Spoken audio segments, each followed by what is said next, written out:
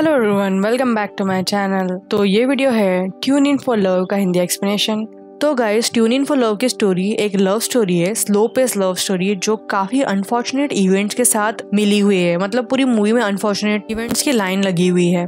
और मेरे मूवी देखने के पीछे एक ही रीजन था, क्योंकि इसकी कास्ट काफ़ी फ़ेमस थी। अगर आपको नहीं पता है तो मैं बता देती हूँ। किम गोन ने मीसू का रोल प्ले किया है इस मूवी में, और जंगे इन ने ह्योनवू का रोल प्ले किया है। और this movie is about Misu and Hyunwoo's love story दो टू बी ऑनेस्ट ये मूवी काफ़ी स्ट्रेची थी। मतलब ये मूवी शायद वन आवर टेन मिनट्स इतनी होना चाहिए थी ओरिजिनली बट ये मूवी पूरी ओरिजिनली टू आवर्स की है, जो मुझे अनवांटेड स्ट्रेची लगा टू बी ऑनेस्ट तो क्योंकि एक्सप्लेनेशन में छोटा रखने वाली हूँ तो आई होप ये स्टोरी अच्छी दिख के आए। और अगर आपको अच्छा लगे तो please consider subscribing to my channel because मैं एक्सप्लेनेशन वीडियो बनाती रहती हूँ। तो विदाउट वेस्टिंग एनी टाइम चलो शुरू करते हैं। ट्यून इन फॉर लव का हिंदी एक्सप्लेनेशन तो ये मूवी की स्टार्ट एक बेकरी में होती है और यहाँ बेकरी में मीसू जॉब करती होती है। वेल हम बोल सकते हैं कि इसमें जॉब जैसा कुछ नहीं है क्योंकि ये बेकरी ही मीसू की मदर की होती है। बट फ़िलहाल इसको एक लेडी हैंडल करती होती है उनजा नाम की। तो एक दिन early morning as always Misu bakery खोलती है बट पूरी तरह से ओपन हुई भी नहीं होती है कि एक लड़का आता है स्कूल स्टूडेंट ह्योनवो नाम का। वो बेकरी में टोफू खरीदने के लिए आता है, जो कि बेकरी में अवेलेबल नहीं होता है। और जिस तरह से सैड मूड के साथ ह्योनवू टोफू और सोया मिल्क खरीदने के लिए आता है, वो देख के मीसू को रियलाइज़ हो जाता है कि ये हो सकता है जेल से निकल के आया हो, इसलिए उसको टोफू चाहिए। तो मीसू उसे एडवाइस करती है कि वो ऊपर वाली स्टोर में से जाके खरीद ले ये सब चीज़ें। Yes guys it is a thing in South Korea कोई भी जन अगर प्रिजन से बाहर आता है तो प्रिजन से आने के फ़ौरन बाद उसे पहली चीज़ टोफू खिलाया जाता है। तो इससे पहले ह्योन वो बेकरी से निकलता और बाहर जाता, उसे स्टोर के अंदर जो रेडियो चल रहा था, उसमें जो जॉकी बोल रहा था, वो सुन के काफ़ी इंस्पिरेशनल और मोटिवेटेड फील होता है। और उसका मूड थोड़ा लिफ्ट हो जाता है सुन के। और इसके बाद टोफू खरीद के, वो जो बेकरी के बाहर पोस्टर लगा रहता है, जिसमें लिखा होता है कि उन लोग एक पार्ट टाइमर को हायर कर रहे हैं। ह्योन वो वो पोस्टर निकालता है और वहाँ पर जॉब के लिए अप्लाई करता है। बट हायरिंग के टाइम पे मीसू को थोड़े डाउट्स होते हैं बिकॉज़ ह्योन वो एक स्कूल स्टूडेंट दिखता होता है तो मीसू से बोलती है कि वो स्कूल रिटर्न जाए। बट ह्योन वो ने डिसाइड कर लिया था कि उसे बेकरी में जॉब करना है तो वो उन लोग को सच्ची सच्ची बता देता है कि उसने स्कूल क्विट कर दी है।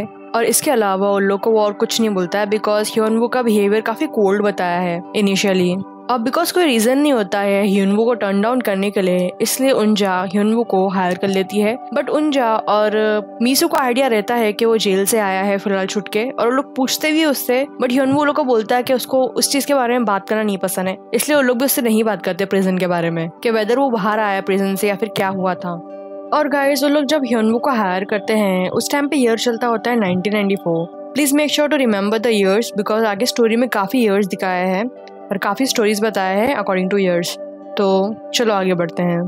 तो इसके बाद ह्योन वो मीसू और उनजा एक दूसरे के साथ काफ़ी टाइम स्पेंड करते हैं बेकरी में काम करते हुए। और ये तीनों के बीच में काफ़ी अच्छा बॉन्ड डेवलप हो जाता है। बट स्पेशली मीसू और ह्योनवू जो दोनों सेम एज के होते हैं, वो दोनों के बीच में काफ़ी अट्रैक्शन और बॉन्डिंग डेवलप हो जाती है। और एक बार जब ह्योनवू की बॉन्डिंग अच्छी हो जाती है उंजा और मीसू से, वो लोग को थोड़ा थोड़ा अपनी प्रिजन में उसकी लाइफ कैसी थी बताता है कि वो कैसे रोज प्रे करता था प्रिजन से निकलने के लिए।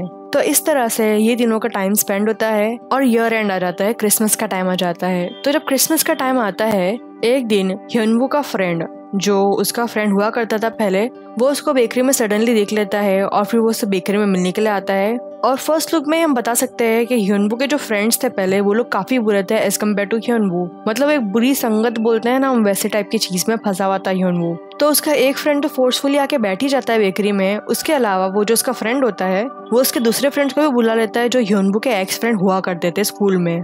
तो भले ही नाम के लोग फ्रेंड्स हैं ह्योनवू के बट पहले ही चीज़, उसका फ्रेंड आके बेकरी में ये करता है, वो ह्योनवू की इंसल्ट करता है उंजा और बीसू के सामने।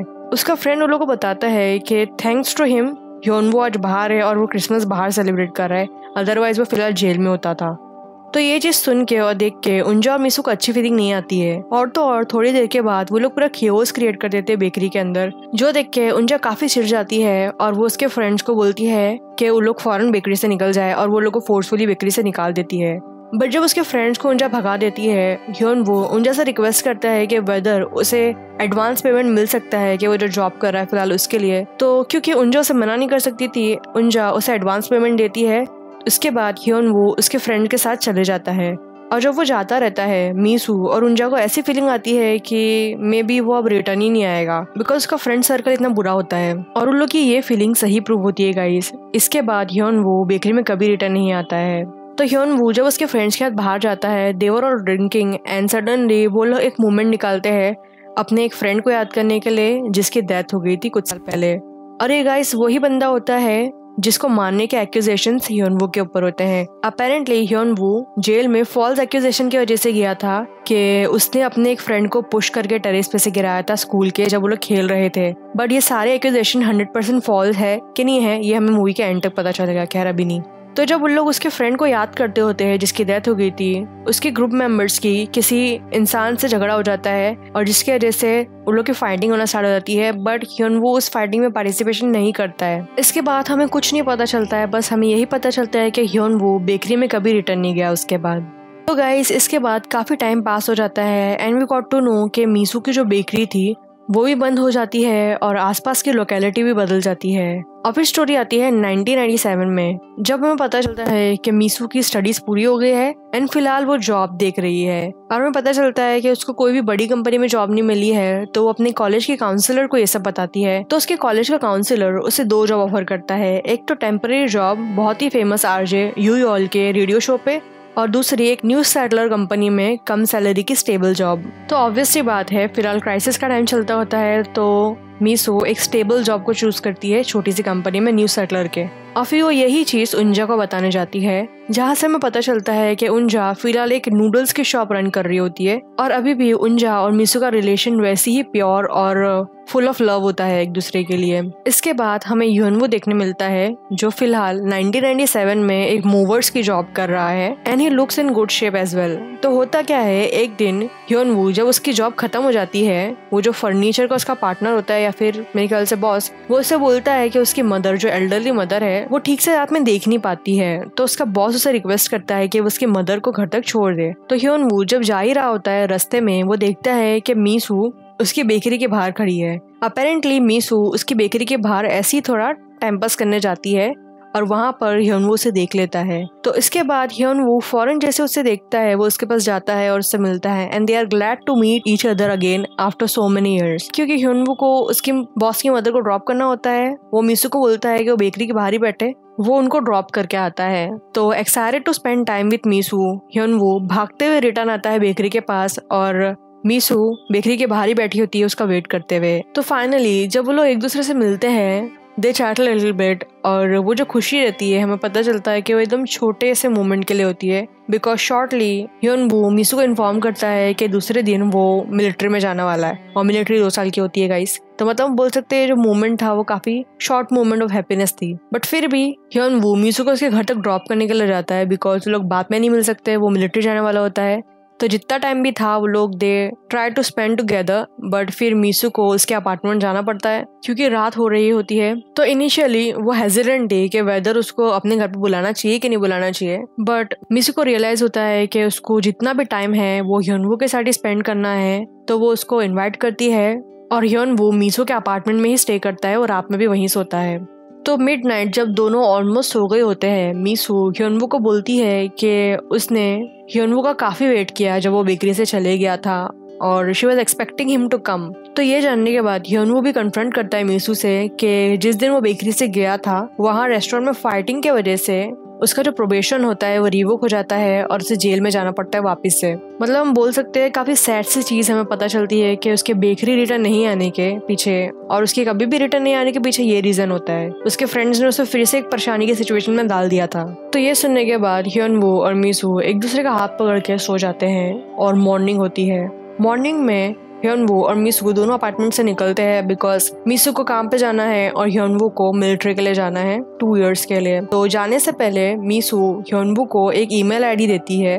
वो ईमेल आईडी मीसू ने क्रिएट किया रहता है उसके लिए ताकि वो और ह्योनवू बात कर पाए। तो वो उसे ईमेल देके बोलती है कि लेट्स स्टे कनेक्टेड और बात करेंगे एक दूसरे से ईमेल के थ्रू ईमेल देने के बाद वो टाइम आ जाता है कि दोनों को एक दूसरे को गुड बाय बोलना पड़ेगा और इससे पहले दोनों एक दूसरे को गुड बाय बोले ह्योन वो और Misu they had a awkward case मतलब वो परफेक्ट केस भी नहीं थी, एक ऑकवर्डनेस थी उन लोग के उस बिहेवियर में. बट वो जो ऑकवर्ड से किस करते हैं उन लोग, वो कंफर्म करता है कि दोनों के दिल में एक दूसरे के लिए फीलिंग्स है. भले ही फ़िलहाल मूवमेंट राइट नहीं है, उसको मिलिट्री जाना पड़ रहा है और इसके बाद वो लोग नहीं मिल पाएँगे बट ये जेस्टर कंफर्म कर देता है कि दोनों एक दूसरे को लाइक करते हैं. तो इसके बाद दिन खत्म होता है और रात में मीसू को सडनली याद आता है कि उसने ह्योनवू को सिर्फ़ ईमेल दिया है। ईमेल का पासवर्ड नहीं दिया है।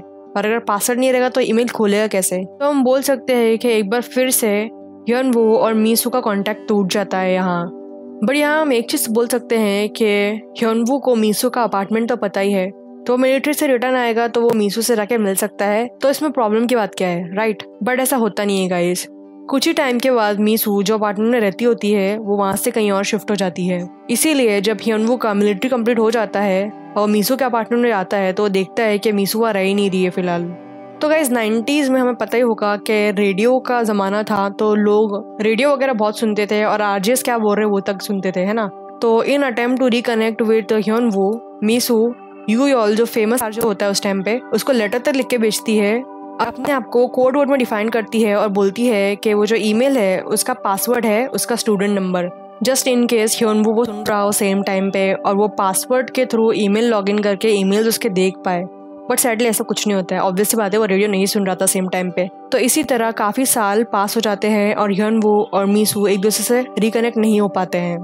इवन दो मीसू को ये बात अच्छे से पता है कि ह्योनबू ईमेल नहीं रीड कर पा रहा होगा।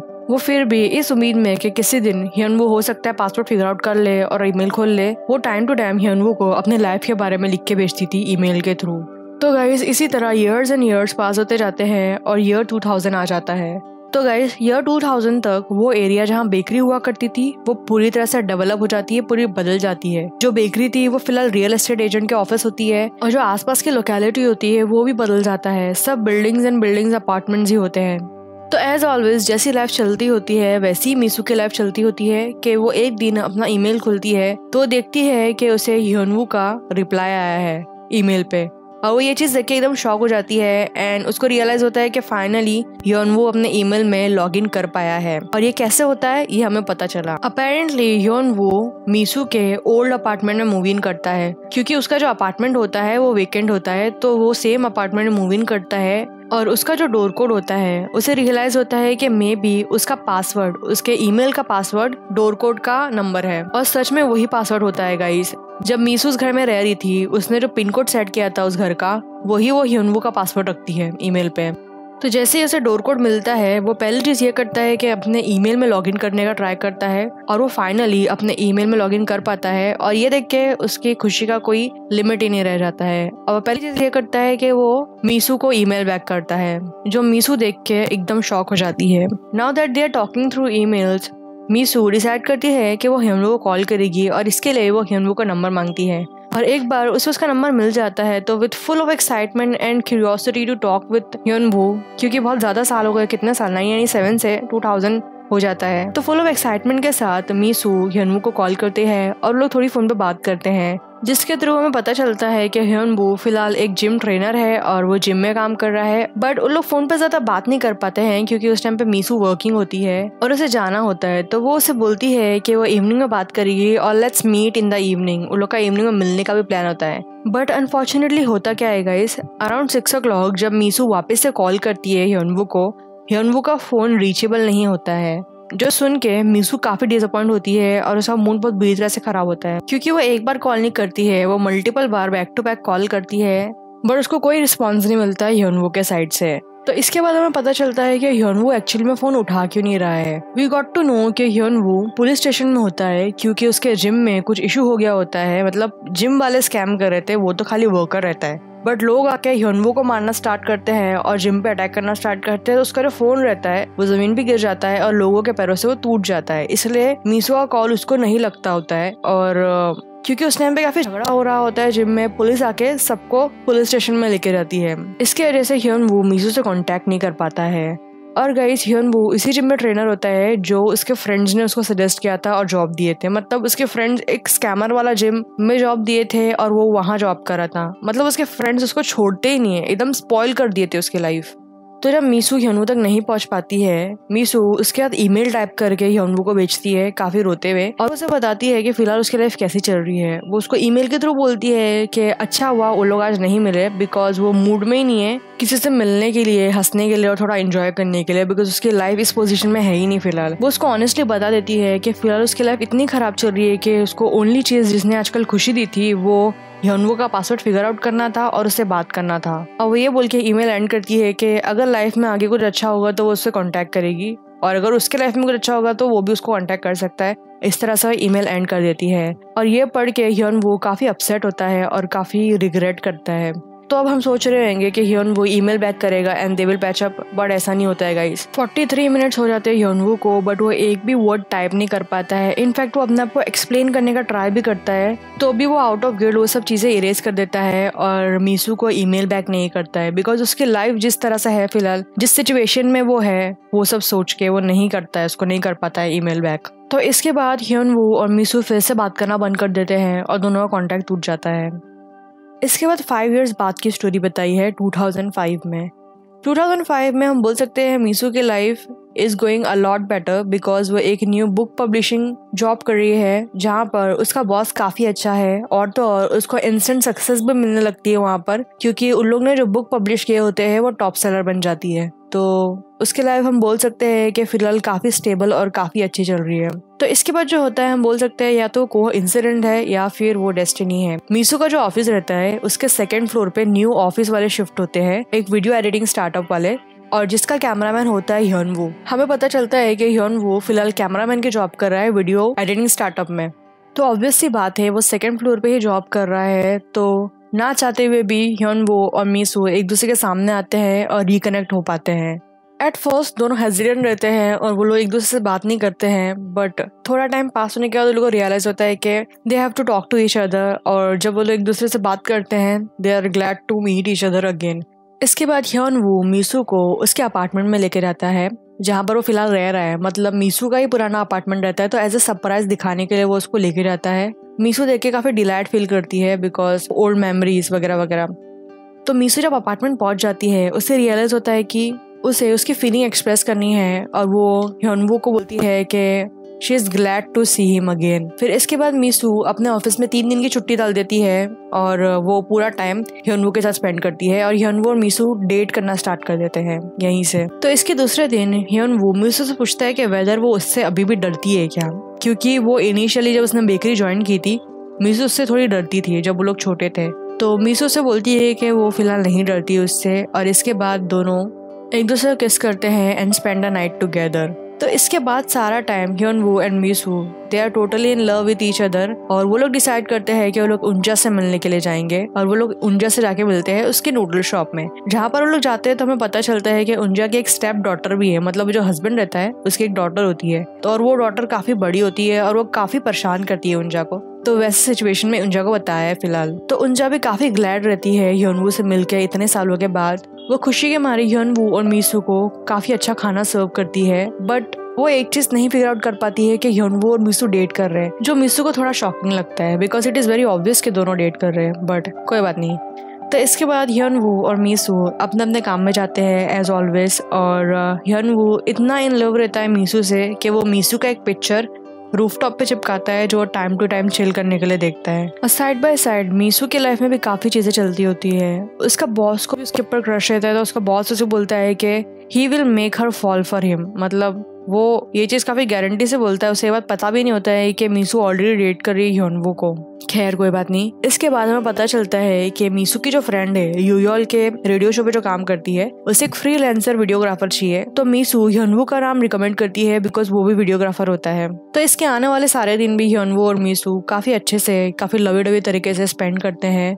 अंटिल एक दिन योनवू के फ्रेंड्स उसे वापस नहीं मिल जाते। यस गाइस एक दिन योनवू जब कॉमिक रिटर्न करने जाता है कॉमिक स्टोर में, उसका एक फ्रेंड उसे देख लेता है और वो लोग वापस उसको पकड़ लेते हैं। भले ह्योनवू लोग कितना भी अवॉइड कर रहा हो बट सम हाउ और लोग मिल ही जाते हैं उसको कहीं ना कहीं। तो कोई बात नहीं। इसके बाद तो लोग ह्योनवू को बोलते हैं कि उन लोग की जो फ्रेंड है, उसकी इलेवंथ डेथ एनिवर्सरी है। तो उसके घर पे जाके उसके सिस्टर को पैसा वगैरह देना है। तो ह्योनवू यही करता है, वो जाता है उन लोग के साथ, जो कि उसको जाना नहीं होता है। बट फिर भी उसके फ्रेंड उसे बोलते हैं तो जाता है उन लोग के साथ और उसके सिस्टर को जो भी उन लोग अमाउंट देना होता है, वो देता है। बट उसके सिस्टर को इंसिस्ट करके बोलता है कि उसने उसको नहीं धक्का लेके गिराया था और उसके भाई के डेथ में उसका कोई हाथ नहीं है, वो खुद से गिरा था।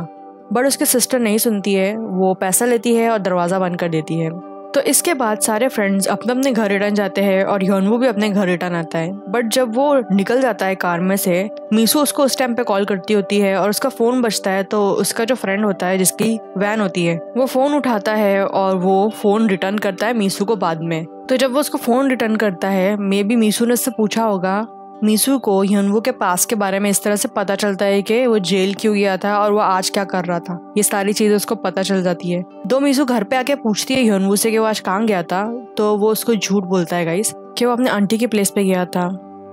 तो इसके बाद दूसरा दिन स्टार्ट होता है और ह्योनवू जब ऑफ़िस में जाता है, उसको पता चलता है कि उन लोग का जो ऑफ़िस रहता है, वो लोग खाली करना पड़ेगा, कहीं और शिफ्ट होना पड़ेगा बिकॉज़ वो जो ओनर रहता है मीसू का बॉस ही ऊपर सेकेंड फ्लोर का ओनर रहता है तो उसको कोई और बिज़नेस स्टार्ट करना होता है उस जगह पे। तो इसके बाद मीसू का बॉस जब ह्योनवू से थोड़ी बहुत बात करता है, वो मुझसे पूछता है कि मीसू पहले कैसे दिखती थी बचपन में? मतलब इससे हमें पता चलता है कि उसके बॉस को आइडिया है कि ह्योनवू और मीसू का अफेयर है, और प्रॉब्ली वो इसीलिए सेकेंड फ्लोर खाली करवा रहा है। He wants to keep him away from Misu probably तो यही सेम डे मीसू कुछ ऐसा करती है जो उसको नहीं करना चाहता। मीसू ह्योनवू के फ्रेंड से मिलती है, जिसने उसको मोबाइल दिया रहता है और वो उसको लेके जाता है ह्योंग्योप के घर पे। वही फ्रेंड जिसकी डेथ हो गई होती है टेरिस पे से गिर के स्कूल में, जिसकी वजह से ह्योनबू जेल गया होता है। तो मीसू का प्लान रहता है उसके फैमिली से जाके मिलने का। बट जब मीसू घर पहुँचती है उसके फ्रेंड के, वो देखती है कि घर पूरा खाली है और उसे पता चलता है कि वो लोग वहाँ से शिफ्ट हो गए हैं। तो इसके बाद दिन खत्म होता है और रात होती है। रात में मीसू यू को बताती है कि वो उसके फ्रेंड के घर पे गई थी और वो लोग शिफ्ट हो गए। और वो उसको ये बोलने के बाद बोलती है कि नाउ इज़ ही ओके कि उसकी फैमिली फाइनली शिफ्ट हो गई है यहाँ से। और ये चीज़ सुन के ह्योनवू को काफ़ी बुरा लगता है। तो वो एकदम शॉक होता है और वो उससे पूछता है कि उसे कैसे पता चला। बिकॉज़ ये उसका एक सीक्रेट था जो वो चाहता था कि मीसू को कभी ना पता चले। वो मीसू को कन्फ्रंट करके बोलता है कि वो रोज प्रे करता था कि मीसू को कभी भी उसके पास के बारे में ना पता चले ताकि वो एक नॉर्मल से लाइफ जी पाए। एकदम फ्रीली तो इस चीज़ का रिप्लाई मीसू देती है कि उसने कभी भी उसे नहीं बताया कि उसके पास में क्या था और वो परेशान हो गई उसे एंशियस देख देख के और वो एक नॉर्मल लाइफ कब जिएगा। तो ये सब सुन के हियन वो घर से चले जाता है और वो जाता है तेसंग के पास, जिसने मीसू को लेके गया था उसके फ्रेंड के घर पे। तो जब वो तेसंग से मिलता है, दोनों के बीच में काफ़ी फाइटिंग होती है और बहुत बुरी तरह से इंजर्ड होता है। ह्योनवू तो क्योंकि काफ़ी रात हो जाती है और ह्यूनवो को उसके अपार्टमेंट में रिटर्न नहीं जाना होता है, वो उंजा के नूडल शॉप में जाता है, वहाँ बैठ कर नूडल्स वगैरह खाता है, अपने आप को थोड़ा ठीक करता है बिकॉज़ उसको इंजरी हुई होती है बहुत ज़्यादा फेस पे। तो इसके बाद जब वो आधी रात में अपने अपार्टमेंट में रिटर्न जाता है, वो देखता है कि मीसू कहीं पर भी नहीं है एंड शी इज़ गॉन तो सम ये दिन खत्म होता है और दूसरा दिन आता है। दूसरे दिन जब ह्योन वो अपने ऑफ़िस में जाता है, वो देखता है कि पूरा ऑफ़िस खाली हो चुका है और दरवाज़ा लॉक भी है। और ह्योनवू ने जो मीसू का फ़ोटो लगाया था सीलिंग पे, वो शायद वहीं रह जाता है। तो जब उसे मीसू का बॉस मिलता है नीचे, वो कार में होता है, वो कहीं जा ही रहा होता है ह्योनवू उसके बॉस को बोलता है कि उसे एक बहुत ही इंपॉर्टेंट सामान लेना है, उस रूम में रह गया है वो।